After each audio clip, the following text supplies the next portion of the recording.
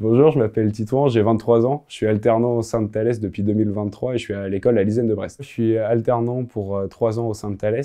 Donc après un DUT réseau et télécom, je suis rentré à l'ISEN de Brest. Pendant mon alternance, je travaille sur la partie développement logiciel au sein du service client de Thales. Euh, j'ai choisi d'effectuer mon alternance au sein de Thales euh, parce que c'est le groupe international qui est le plus connu dans la région dans laquelle j'ai grandi. C'est un groupe du coup qui a une grande renommée, que ce soit euh, en France ou dans d'autres pays. Mon intégration s'est vraiment bien passée. J'ai rencontré donc différentes personnes que ce soit des personnes qui sont au sein du groupe depuis un certain nombre d'années, des prestataires, des personnes de milieux vraiment différents, que ce soit des militaires, ou euh, des personnes qui ont suivi à peu près le même cursus que moi. Ça m'a vraiment permis de me sentir à l'aise, que c'est normal de ne pas comprendre tout tout de suite et qu'on est encore en alternance et on est vraiment là pour apprendre. Je recommanderais Thales à un futur apprenti euh, pour plusieurs raisons. Ce qu'il faut se dire, c'est qu'il y a forcément de la place pour vous au sein du groupe.